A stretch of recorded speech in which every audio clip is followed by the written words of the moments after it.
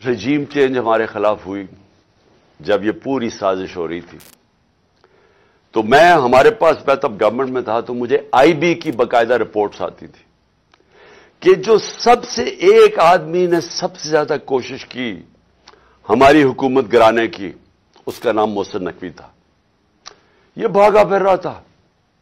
सारी जगह कभी नवाज़ शरीफ को पैगाम लेके जा रहा है, जरदारी का तो कभी जरदारी से के साथ मिलके सिंध हाउस के अंदर बैठा हुआ है, लोगों की हराम के पैसे से लोगों को खरीद रहा है। ये सब पेश पेश था। हर जगह मोहसन नकवी का नाम आता था कि इसने सबसे ज़्यादा कोशिश की इस कॉन्स्परेसी को कामयाब करने के लिए। और ये वो एक्स आर्मी चीफ को भी मिलता था, जिसकी असल में तो असल तो मास्टरमाइंड वो था।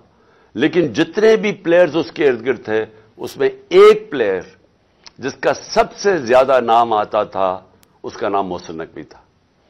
तो ये इसने इसको, जिसको जरदारी कहता था यह मेरा बेटा है। यानी जरदारी ने इसको अपना बेटा बनाया हुआ था। अब ये सोच लें कि इसका कैरेक्टर क्या होगा कि जरदारी जैसा